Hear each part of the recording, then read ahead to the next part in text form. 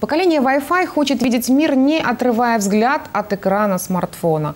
Плохо это или хорошо, рассуждать поздно, потому что это уже реальность. Новости, общение, покупки – все в интернете. И представьте, что и в зоопарк можно сходить через сеть.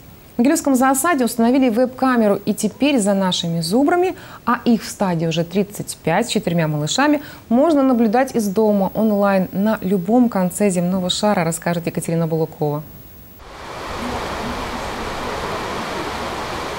Сегодня, чтобы увидеть зубров под дождем, совсем не обязательно брать плащ-палатку и идти по лужам в зоосад. Вдохновляться красотой можно прямо из дома, с экранов гаджетов. Наблюдать за могилевскими зубрами, а также ланями, косулями и оленями сегодня можно из любой точки мира. Все, что для этого нужно – доступ в интернет.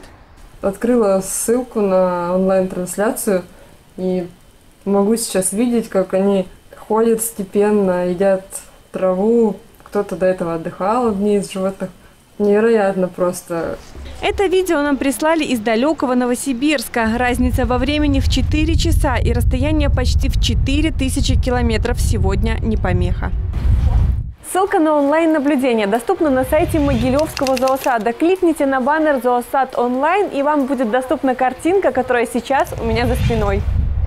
Почему весь мир не видел, что, не видел бы, что в Беларуси есть и это, вот такое прекрасное богатство. И после посещения нас такие же идеи возникнут на других континентах и смогут и у себя открывать национальные парки, э, зоопарки, зоосады, где животные просто на свободе, на больших пространствах, как у нас на 160 гектарах. К слову, онлайн-трансляцию сегодня ведут около 10 зоопарков и заповедников мира. В этом списке, кроме прочих, Тихоокеанский аквариум в Лонг-Бич и гнездовье белоголовых орланов в США. А в штате Миннесота камера установлена прямо напротив волчьего логова. А вот что нам удалось увидеть с камер Национального парка Катмай в США.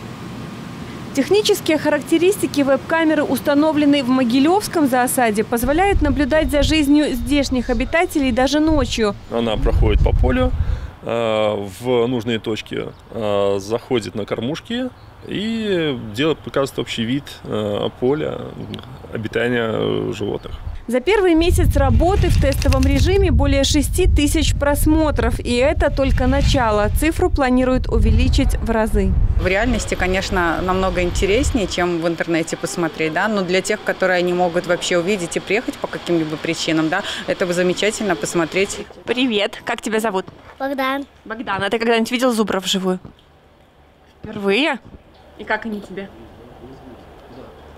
Нравится тебе? Нравится.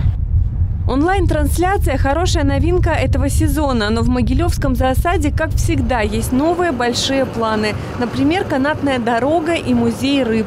Будем ждать.